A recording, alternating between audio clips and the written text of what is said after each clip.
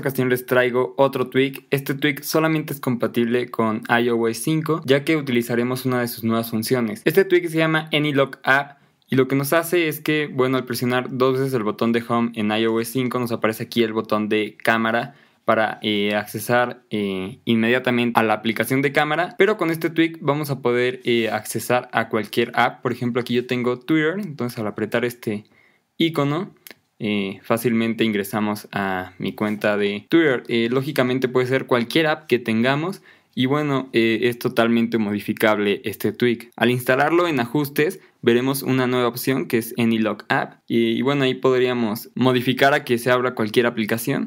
Por ejemplo, aquí podemos poner Hide App Icon, lo que quiere decir que en vez de ponerse el icono de la aplicación que estamos utilizando, se pondría el icono de cámara y aquí donde dice Open App, eh, aquí podemos seleccionar qué app queremos que se, eh, que se configure como la de por defecto. Nos aparecen absolutamente todas las apps que tenemos. Por ejemplo, yo voy a poner que se abra música.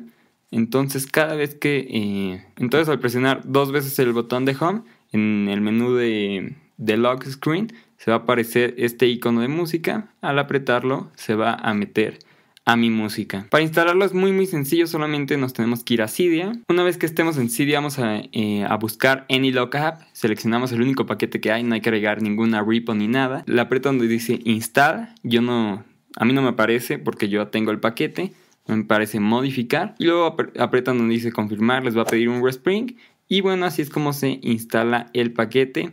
Así que bueno, esto fue todo. No olviden suscribirse en el botón de aquí arriba, darle pulgar arriba y bueno, muchas gracias por ver este video. Adiós.